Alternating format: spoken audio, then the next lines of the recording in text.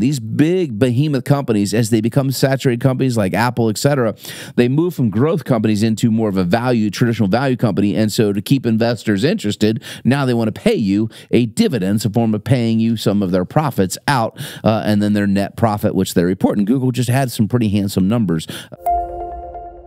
I see a lot of different avenues and streams, and uh, I, I, break this down for us. Or what what are the main, what are the highlights from uh, this? Is how Google does business and makes money. Well, it's a really cool tool that I'll be utilizing going forward called App Economy Insights. Basically, um, they take a company and they they create these really cool uh, infograph of of where the company's dollars come in from and where they go out. And so this is the first one that I'd kind of done a deep dive. So I just threw it in teams so you guys can help kind of understand. And so for like Google, it shows you basically how much revenue comes from things like YouTube, right, versus their search advertising, which is the behemoth, right? When you go type something into Google, every time you search, you know, people pay to have their click ads, et cetera. That is still by far their biggest, you know, revenue. Forty six point two billion. It says for the quarter. the That's chart. quarterly. That's for the quarter. Yeah. yeah so yeah. so, but the, you can see all the other avenue streams in there. They have cloud computing and other services, and then on the other side of it, it shows you where the cash flow goes. Right to their expenses. They have to pay expenses,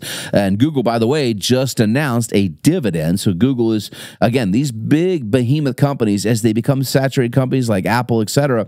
They move from growth companies into more of a value, traditional value company, and so to keep investors interested, now they want to pay you a dividend, a form of paying you some of their profits out uh, and then their net profit, which they report. And Google just had some pretty handsome numbers uh, in their most recent quarter report. But uh, anyway, really cool tool, and we'll pro- I'll probably break down companies in the future using this tool right here on this show.